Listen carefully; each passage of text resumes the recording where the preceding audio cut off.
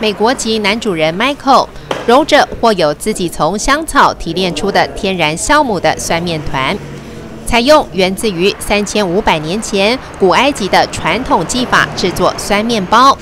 星期一到星期四只销售十个面包，跟有缘人分享。星期五和周末多一些，三十六个，数量还是不多，吃不到怎么办？我们希望客人来是不经意遇到，不是为了，不是因为书上写或是网络上来的。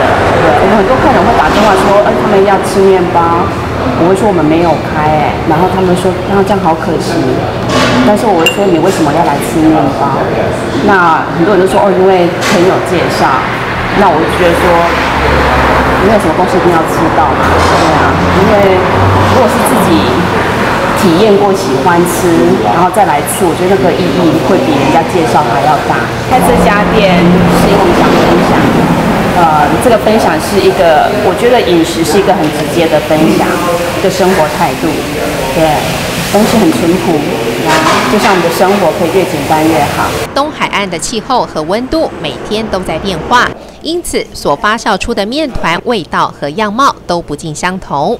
嗯，它的面包跟一般的面包比较不一样，它的面包有点酸酸的感觉，吃起来让人觉得哎，跟一般的面包不一样，特特殊的那个入口的口感哦，非常好扎实。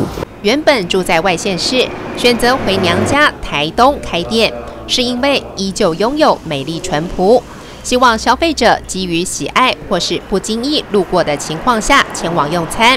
而不是人云亦云，千里迢迢前往，只为了一个面包。